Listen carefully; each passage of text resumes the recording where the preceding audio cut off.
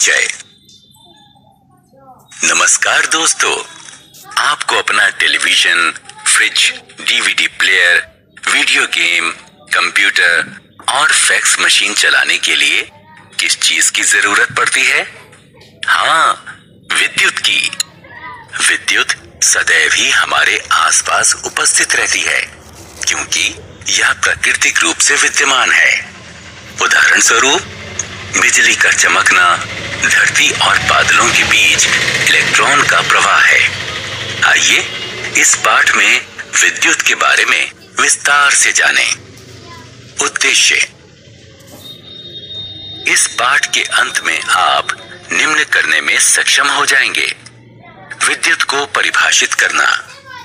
विद्युत धारा और आवेश के बीच संबंध स्थापित करना। दो प्रकार की विद्युत की पहचान करना। विद्युत चालक और विद्युत रोधक को परिभाषित करना। विद्युत। आप देर शाम को कैसे पढ़ते हैं? निश्चित ही आप अपने कमरे में एक विद्युत बल्ब की सहायता से प्रकाश करते हैं। क्या आपको कभी जिज्ञासा हुई है कि विद्युत बल्ब और ट्यूबलाइट कैसे दीप्त होते हैं? उन्हें दीप्त होने के लिए विद्युत की ज़रूरत होती है। विद्युत धारा विद्युत तार से होते हुए बल्ब के फिलामेंट तक जाती है और उसे दीप्त होने तक गर्म करती है। स्थिर विद्युत। जब हम अपने बालों में कंघी करते हैं और कंघी को कागज़ के छोटे टुकड़ों के करीब ले जाते हैं तो कागज़ के टुकड़े कंघी की तरफ़ आकर्षित होते हैं। तब हम कहते हैं कि कंघी विद्युत से आवेशित है। इस पर सबसे पहले एक ग्रीक व्यक्ति थेल्स ने ढाई हज़ार साल पहले ध्यान दिया था। थेल्स ने देखा कि एम्बर को रेशम के कपड़े से रगड़ने पर ये छोटे पंखों को आकर्षित करता है। इसका कारण फिर विद्युत थी। इलेक्ट्रिसिटी यानी विद्युत शब्द की उत्पत्ति इलेक्ट्रॉन शब्द से हुई है। धनात्मक और ऋणात्मक आवेश। आइए, धनात्मक और ऋणात्मक आवेश को समझने के लिए एक गतिविधि करें। एबोनाइट की एक छड़ लीजिए और इसे एक ऊनी कपड़े से रगड़िए। अब इस छड़ के बीच में धागा बाँध के इसे लटका दीजिए। अब इसी प्रकार से एबोनाइट की एक और छड़ को आवेशित कीजिए और लटकती हुई छड़ के पास ले जाइए। आपने क्या देखा? लटकती हुई छड़ दूसरी छड़ से दूर हट गई। अब शीशे की एक छड़ लीजिए। और इसे एक रेशमी कपड़े से रगड़िए। इस आवेशित शीशे की छड़ को लटकती हुई आवेशित एबोनाइट की छड़ के पास ले जाइए। आपने क्या देखा? लटकती हुई एबोनाइट की छड़ शीशे की छड़ के समीप आ गई। धनात्मक और ऋणात्मक आवेश। एबोनाइट और शीशे पर उत्पन्न आवेश की प्रकृति भिन्न थी। इन दो प्रकार के आवेशों को धनात्मक और ऋणात्मक आवेश कहते हैं। धनात्मक आवेश को धन के चिन्ह, यानी प्लस से प्रदर्शित करते हैं, और ऋणात्मक आवेश को ऋण के चिन्ह, यानी माइनस से प्रदर्शित करते हैं। सिर्फ़ मान्यता के लिए शीशे पर रेशम के रगड़ने से उत्पन्न आवेश को धनात्मक मानते हैं, और एबोनाइट को ऊनी कपड़े पर रगड़ने से उत्पन्न आवेश को ऋणात्मक मानते हैं। पहले की गतिविधि के आधार पर हम कह सकते हैं कि समान आवेश एक दूसरे को विकर्षित करते हैं और असमान आवेश एक दूसरे को आकर्षित करते हैं। विद्युत धारा।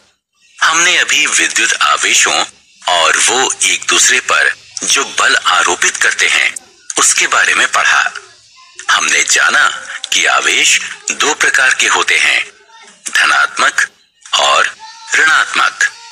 जब आवेश एक पिंड से दूसरे पिंड में स्थानांतरित होते हैं तो हम कहते हैं कि पिंड आवेशित हो गया है। गतिशील या प्रवाहमान आवेश विद्युत धारा का निर्माण करते हैं। एक विद्युत धारा ऋणात्मक आवेशी इलेक्ट्रॉनों की गतिशीलता से बनती है।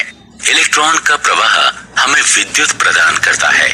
विद्युत धारा को एम मीटर से मापा जाता है। विद्युत सेल।